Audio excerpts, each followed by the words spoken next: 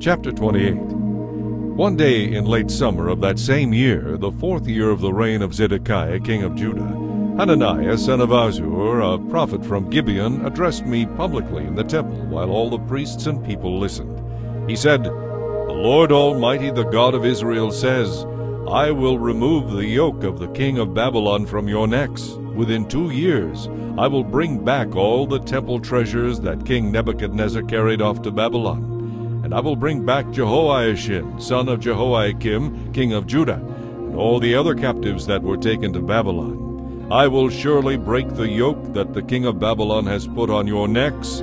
I, the Lord, have spoken. Jeremiah responded to Hananiah as they stood in front of all the priests and people at the temple. He said, Amen. May your prophecies come true. I hope the Lord does everything you say. I hope he does bring back from Babylon the treasures of this temple and all our loved ones. But listen now to the solemn words I speak to you in the presence of all these people. The ancient prophets who preceded you and me spoke against many nations, always warning of war, famine, and disease. So a prophet who predicts peace must carry the burden of proof. Only when his predictions come true can it be known that he is really from the Lord.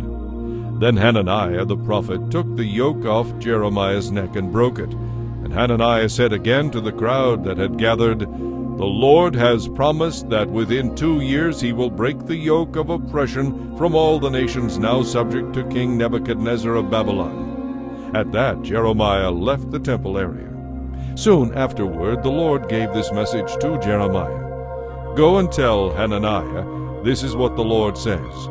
You have broken a wooden yoke, but you have replaced it with a yoke of iron. The Lord Almighty, the God of Israel, says, I have put a yoke of iron on the necks of all these nations, forcing them into slavery under King Nebuchadnezzar of Babylon. I have put everything, even the wild animals, under his control. Then Jeremiah the prophet said to Hananiah, Listen, Hananiah, the Lord has not sent you, but the people believe your lies. Therefore the Lord says you must die.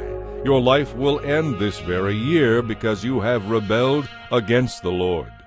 Two months later, Hananiah died.